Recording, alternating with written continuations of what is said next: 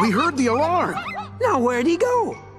Where'd who go? The creepy gold guy with no face. Is everyone okay? we are now. It sure was